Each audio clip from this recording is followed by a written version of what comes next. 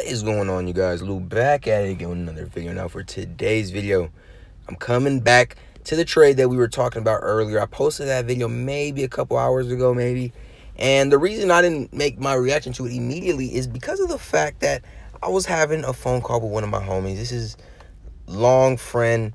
This is brother to me. And basically, we were discussing this trade, and it really put it into perspective for me. What I really think about this trade. And I'm going to tell you, I think this trade is very bad for the Wizards, and I think this is a very good trade for the Suns. It may work out for the Wizards. I'm gonna just say that. I'm gonna bail out on what I just said a little bit, but I I think it would work more short term than long term. I see why they're doing it. I see that they need maybe a guy that can get some three point shots up and play high class defense. But at the end of the day, I don't think Trevor Ariza really is going to take that team and make a difference, especially when they really need a difference right now, okay?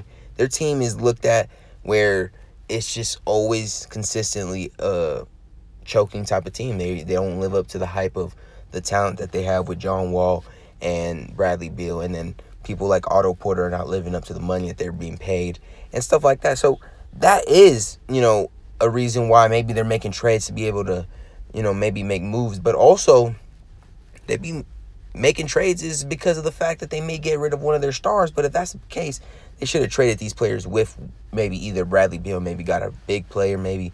But you never know. I, I don't know what they're really thinking about.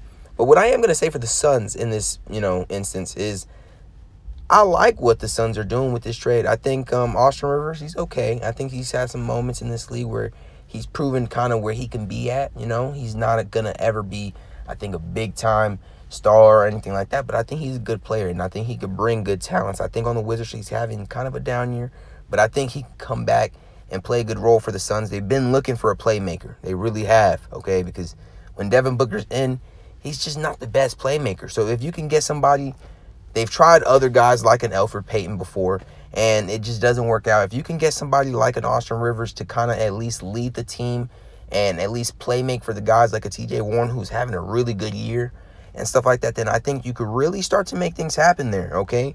And then, you know, Kelly Oubre, I like him, all right? I never think he's going to be too much. I think he is young, so there is more hope. But I don't think he's going to be like an outlandish star or anything like that. But I think he's going to be a good player. He just needs to, I think, find a talent in his, you know, whole thing of what he does, okay? He doesn't really shine in any one thing quite yet.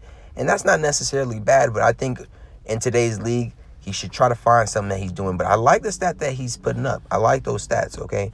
So, I mean, overall, I think the Suns are winning this trade. I think the Wizards should have added maybe a, a draft pick maybe to the mix to see if they could get that back. You know, if the Suns would have gave maybe Trevor Ariza and then a, a, first or second round pick, it doesn't matter. Or even both. Who cares? That would have been nice. But, of course, that wasn't going to happen. But I would have been cooler, okay? Because uh, I think – it's just basically the Suns just bailing out on Trevor Ariza. They're like, oh my God, all right, let's flip that, get it out of here. And I think it worked out for them, but the Wizards, like, you're not getting anything back. Like, you just gave away some some decent players for a guy that I don't know how much he's going to work for you. He's on a one year deal. I know I may be sounding confusing, man, but yeah, but that's all I got for you. So tell me what you guys think in the you know comments down below, and if you guys enjoyed this video, please like and subscribe for more. I'm out.